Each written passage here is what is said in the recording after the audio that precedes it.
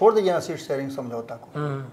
आइए पहले बिहार में। क्या मतलब है दोनों के कड़ी कैसे जोड़िएगा आप? एक तरफ़ जहाँ सीट शेयरिंग समझौता है दूसरे तरफ़ बिहार में मंत्रिमंडल विस्तार की चर्चा चल रही है। वहाँ मारा मारी सीट शेयरिंग का हो रहा है यहाँ मंत्रिमंडल का चर्चा करके आपका ध्यान भटकाया जा रहा है। यानी कि कुछ भी तय नहीं हुआ है सिर्फ़ एक ही बात तय हुई है।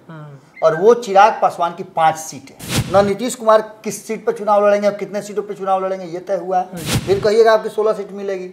हम करेंगे ना छह सीटें नीतीश कुमार जो लड़ेंगे वो अपने सिंबल पे लड़ाएँगे उम्मीदवार वो बीजेपी का उम्मीदवार होगा। पनोरमा ग्रुप जो सोचता है वो करता है। नमस्कार, भारत लाइव देख रहे हैं आप और ये भीतर की बात है, जहाँ पे चर्चा हम करते हैं राजनीति गलियारे में पर्दे के पीछे रची जा रही कहानी पर। वो कहानी क्या है?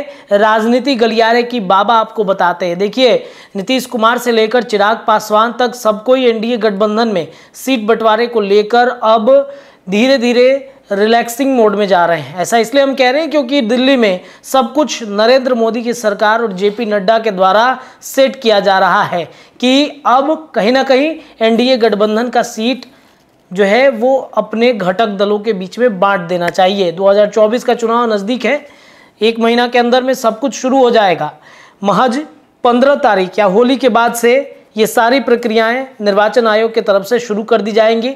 बिहार में इलेक्शन और देश भर में कैसे इलेक्शन सेट करना है। लेकिन उससे पहले जो परिस्थितियाँ उत्पन्न हुई हैं कि चिराग के सीट क्लियर होते कर दिया स्क्रीनिंग उम्मीदवारों की लिस्ट रेडी कई चौंकाने वाले नाम। ये जानना बेहद ज़रूरी है कि चिराग पासवान ने सीट शेयरिंग का मामला तो सुलझा लिया है, लेकिन उम्मीदवार कितने हैं उनके पास में?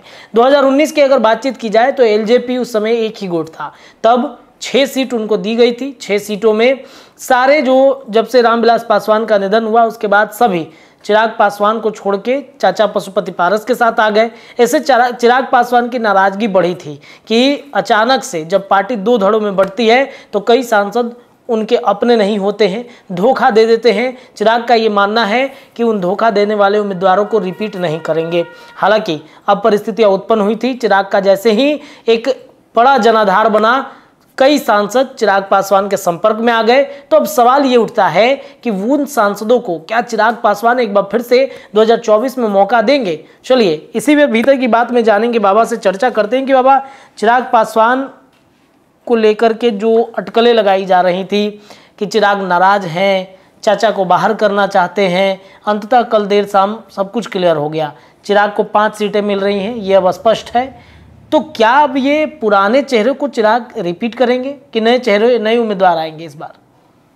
24 घंटे से चर्चा चल रही है। जी। आपने भी खबर किया है। जी जी बिल्कुल। छोड़ दीजिए ना सीट शेयरिंग समझौता को। हम्म, आइए पहले बिहार में। हम्म, आइए हमरे बिहार में नहीं कहता है। आइए ना हमारे बिहार में। आइए बिहार में जरा सा मंत्रिमंडल का विस्तार करके दिखा दीजिए ना। हम्म, क्या मतलब है दोनों के कड़ी कैसे जोड़िएगा आप? हम्म, एक तरफ़ जहाँ सीट शेयरिंग समझौता है। दूसरे तरफ़ बिहार में मंत्रिमंडल विस्तार की चर्चा चल रही है। वहाँ मारा मारी सीट शेयरिंग का हो रहा है यहाँ मंत्रिमंडल का चर्चा करके आपका ध्यान भटकाया जा रहा है। हम्म, समझ रहे हैं बात को ना? जी बिल्कुल बिल्कुल। यानी कि कुछ भी तय नहीं हुआ है सिर्फ़ एक ही बात तय हुई है। हम्म, और वो चिराग पासवान की पाँच सीटें हम्म, बाकी सब कुछ तय नहीं हुआ है। हम्म, न नीतीश कुमार किस सीट पर चुनाव लड़ेंगे और कितने सीटों पर चुनाव लड़ेंगे ये तय हुआ है। पशुपति कुमार पारस रहेंगे या जाएँगे ये तय नहीं हुआ है। आरएलएम यानी उपेंद्र कुशवाहा को कितनी सीटें मिलेंगी ये भी तय नहीं हुआ है। जी। क्या करेंगे माझी ये भी तय नहीं हुआ है। हम्म, जब तक आपके सामने कागज़ नहीं आ जाता है हम्म, आपको याद होगा 2019 में क्या हुआ था। जी जी जी। जब 2019 की बात आई तो नीतीश कुमार ने अपने बड़े भाई होने का फ़ायदा उठाया। हम्म, कल हम लोग खबर नहीं किए थे पैंचा ले लिया। पैंचा ले लिया जी बिल्कुल। पैंचा ले लिया पाँच गो सीट। तो पैंचा लेकर के ही चुनाव लड़े। जी।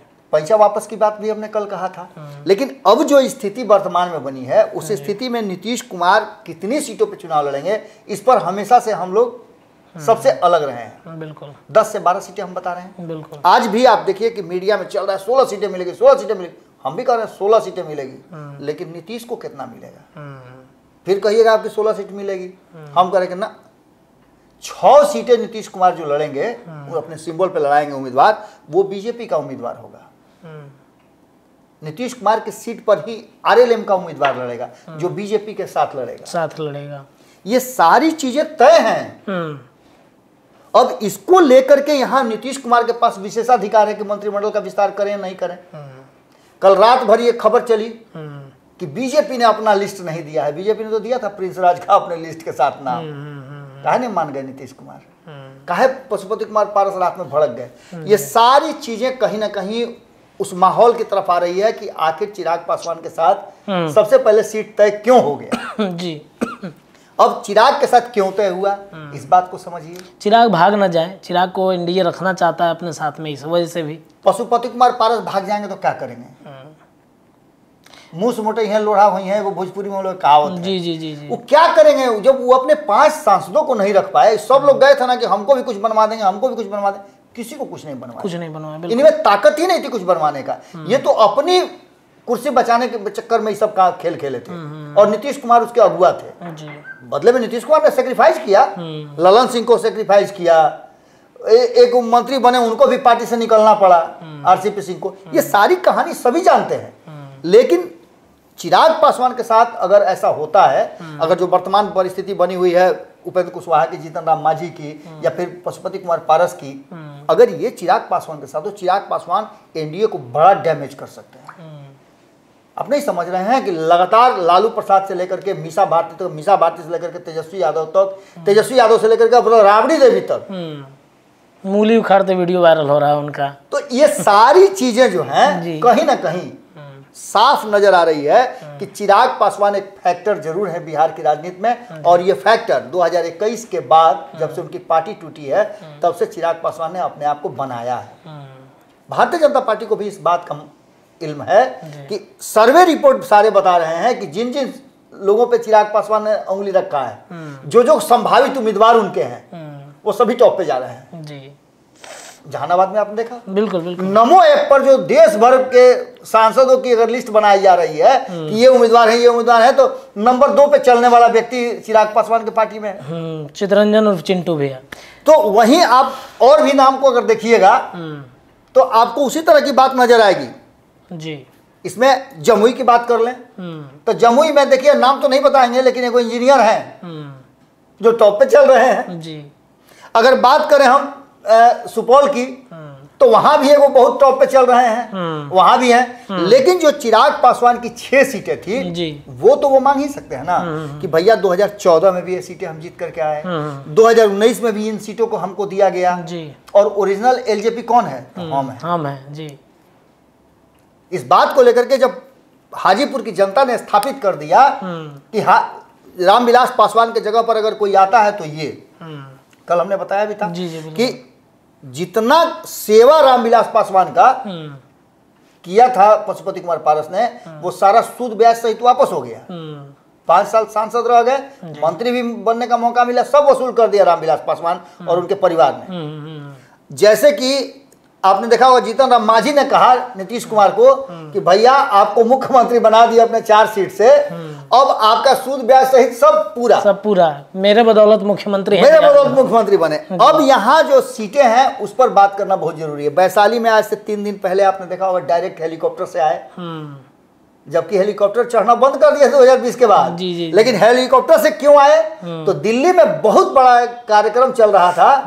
वहाँ तुरंत पहुँचना ज़रूरी था कि नीतीश कुमार कहीं खेल को इधर उधर ना कर दें। घुमा ना दे डमरू मत बजा दे। बिल्कुल बिल्कुल। तो वैशाली की सीट पर देखिए दो संजय सिंह हैं। हम्म।